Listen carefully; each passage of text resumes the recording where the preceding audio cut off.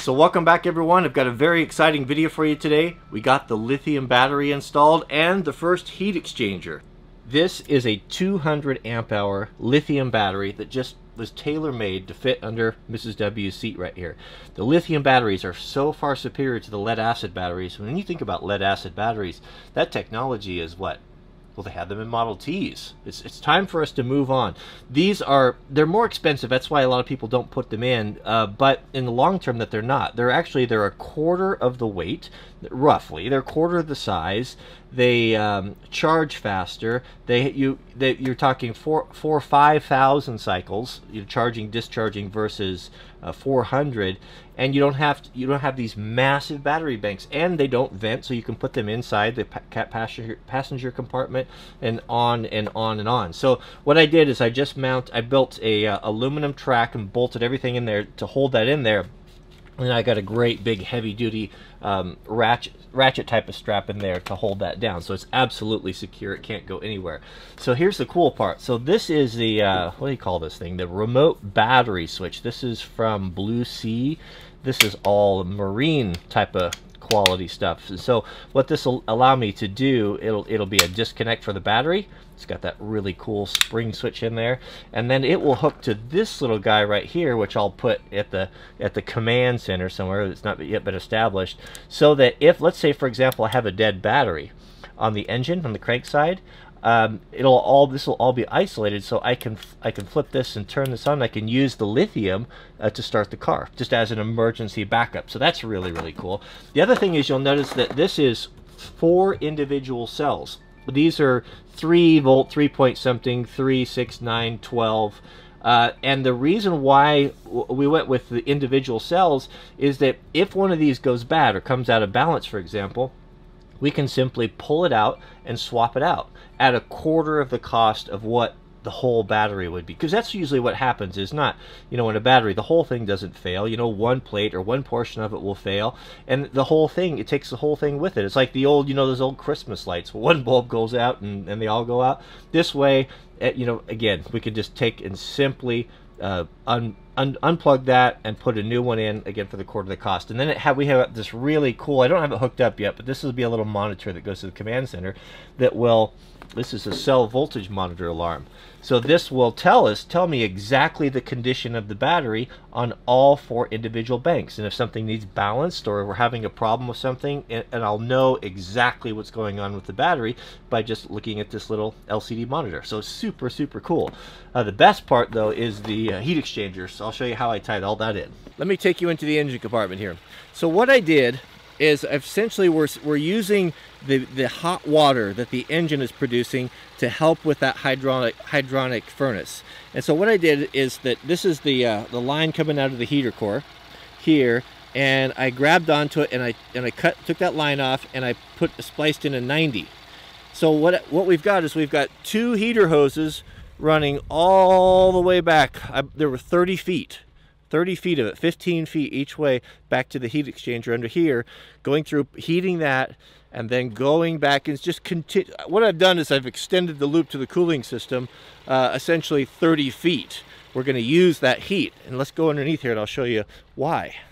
Oh my goodness, it's going to be challenging here, but I've got this just in here temporarily, so with zip ties. I'm just te testing everything out. So here you can see are the, the two three-quarter heater lines, and I've just started putting my clamps on. So everything will be clamped on with these nice rubber coated clamps because you don't want hoses rubbing on stuff. If they rub on stuff, they'll get holes in them and it's going to happen at the worst possible time in the middle of the night. So you want to make sure you do this right. So as you, you'll see the zip ties over there and that was just me doing my prototyping, but that's how everything will be finished right there.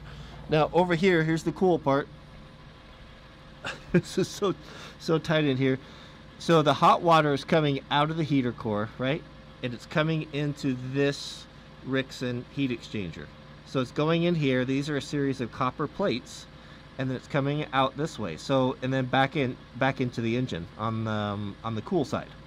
Now, if you look on top here, you'll see maybe so tight. There we go. You'll see that there's another two more ports right there.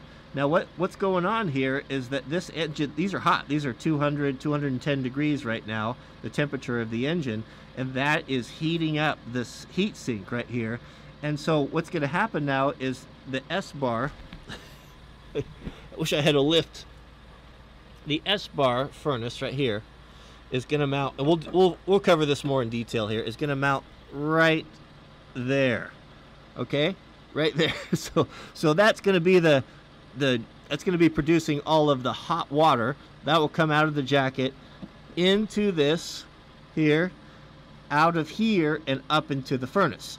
And the reason why we're doing this is that we're, we're we it's preheating all the water so it's just giving us uh, it's giving us three ways uh, to, to heat the van. We can heat it with the engine we can heat it with the electrical element we can heat it with the with the Espar unit right there so this is, uh, I know it's hard to explain. Once we uh, get it all put together, I'll do a better job. I'll get it jacked up where I can get the camera into here. But I wanted to give you a quick update on how, kind of how all that works. But this is just working beautifully. These are hot.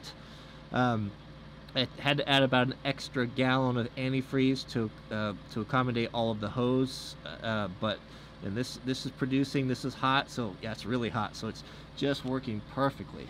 And then we'll get these guys all clamped up here like this nice so nothing's touching and nothing's rubbing and it's gonna be really really cool so I wanted to give you a quick update on on that Okay, so what's next in the adventure van? So what's to be next is uh, I'll probably put a 15 to 20 gallon water tank, freshwater tank along here. Um, probably so, something like that. I've ordered a 1500 watt uh, Magnum inverter charger, and that whole system will go over here. So we'll have AC power. That's what's going to hook directly to the lithium battery. Uh, so we have AC power, so we can plug in stuff and coffee maker and, and all that sorts of things when we go camping. Uh, now, there's uh, some questions that have come up. Um, oh, 200 amp hours is not enough. I've, heard a lot of statements like that. Well, it is enough for us. I'm not building uh, this huge lumbering uh, motorhome. I, I don't want that. What I have found with this thing, this transit van, is I like it so well that it's become my daily driver. I don't think I've driven my truck since I've owned it. Uh, it's just so much better in so many ways. It gets 18 and a half miles per gallon. It's got ridiculous power. It's fun to drive whenever I go anywhere. I can take multiple people. We can have comfort. We have room for gear. Everything is dry inside, and then even, you know having the bed in the back, so and the furnace, it's just so superior in so many ways. Now, uh, also, what's going to be coming up this spring. Uh, I'm on the list uh, to get in. So we're going to have four-wheel drive put on it. There's two companies uh, in the country that do it. One is Quigley in Pennsylvania, and the other is uh, uh, Quadvan in Portland, Oregon. So I'm on that list to have that done. And that's going to be, oh, I can't wait for that. That's going to be so nice and so necessary for up in here. Um, so with that in mind, the other thing I'm going to do is, yes, I'm going to be insulating the van, but I want to run all the electrical and all of the plumbing and all of those things first. Get everything all fitted and checked out. Make sure it's the way I like it. Then we can do the insulation. Then we can do the nice carpeted or upholstered panels and, and make it a little bit warmer and cozier inside. But I, this is very minimalistic. I, am not interested in this huge cabinets and plywood and, and all that stuff and turning this thing into this huge, heavy, uh, recreational vehicle, that's that's not what I'm going for. I want a good furnace. I want a good solid power system. We'll have some the flexible, the new flexible solar panels up on top to keep the battery charged up. But just a really four-wheel drive, a really really solid rig um, that's not too heavy uh, that we can use dual roles. That I can use it for a daily driver as well as having um, comfortably taking you know three or four people uh, camping. So that's kind of where I'm going. So uh, if you're wondering why I'm not doing this or why I'm not doing that, uh, it's you know what what you may be ha- have need of or what you would do to yours is not necessarily the same. So that's why you may if you think some things are too small, i.e. the battery bank, you know. So so to each his own. So um, and things change. You know, I, I have an idea of what I want now, and is that that could change and and things may become different. But I don't think so. I think I've this is my third van, uh, and I think I know what I want by, by now. So that's it. Hope you enjoy the video. Thanks for watching. And next time, we'll be installing that Espar, Lord willing. We'll see you, see you on the next video.